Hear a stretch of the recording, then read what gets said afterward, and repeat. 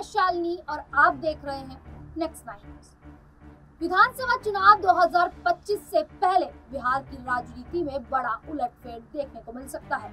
रुपौली उपचुनाव रिज़ल्ट के बाद कयास लगाया जा रहा है कि जनता अब पुराने चेहरों से उठ चुकी है और नए विकल्पों की तलाश में है। लोकसभा चुनाव के बाद बिहार में एक हुआ। विधानसभा उपचुनाव के नतीजे बताते हैं कि जनता नीतीश कुमार और तेजस्वी यादव के नेतृत्व से संतुष्ट नहीं। इतना ही नहीं, एनडीए या इंडी गठबंधन जनता को अब दोनों पर खास भरोसा नहीं रहा है। यही कारण है कि सियासी पंडित रुपौली उपचुनाव रिज़ल्ट को दूसरे नज़रिए से देख रहे हैं। कहा तो ये भी जा रहा है कि पर्दे के पीछे से सियासी खेल खेला जा रहा है, जिसका असर 480 दिन बाद देखेगा।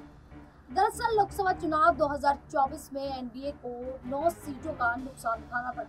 दूसरी ओर इंडिया गठबंधन को अपेक्षा के अनुसार खास बढ़त नहीं मिली। इससे साफ़ है कि जनता अब किसी भी पार्टी के बहकावे में नहीं आने वाली है और राज्य के विकास के लिए नए चेहरों को मौका देने के लिए तैयार है।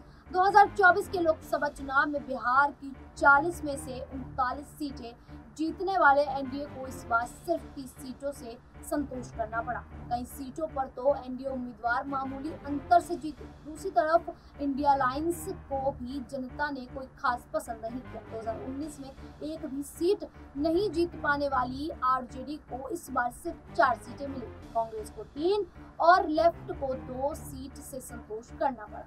लोकसभा चुनाव के नतीजों से साफ़ है कि बिहार की जनता ने एनडीए और महागठबंधन दोनों पर ही कम भरोसा जताया है।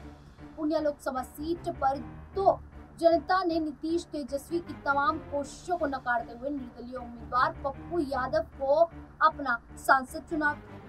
तेजस्वी यादव ने पूर्णिया सीट पर अपनी पार्टी के उम्मीदवार बीमा भारती के लिए जमकर प्रचार किया था। उन्होंने यहाँ तक कह दिया था कि आप एनडीए के प्रत्याशी को चुन लीजिए, लेकिन निर्दलीय प्रत्याशी को वोट नहीं दीजिएगा। मुख्यमंत्री नीतीश कुमार ने भी पूर्णिया में अपनी पार्टी के उम्मीदवार के लिए चुनावी सभाएँ की थी, लेकिन पूर्णिया की जनता ने नीतीश कुमार और तेजस्वी को नकारते हुए पप्पू यादव पर भरोसा जताया। उसके बाद अब रुपौली में उपचुनाव हुआ और ऐसे में भी यही देखने को मिला कि बिहार की जनता ने बीमा भारती को नकार दिया और जेडीयू के कालाधार को भी नकार दिया। ऐसे में एक बार फिर से रुपौली से निर्दलीय प्रत्याशी की जीत हुई। अब जिस प्रकार से बिहार में लगातार जो समीकरण है, वो बदल रहे हैं और जनता अब नई सरकार चाहती है, नए चेहरे को चाहती है। इस पूरे मुद्दे को लेकर आप लोगों की क्या राय है? क्या मानना है? हमें कमेंट करके ज़रूर बताइएगा। उसी प्रकार की देश दुनिया से जुड़ी खबरों के लिए देखते रहिए।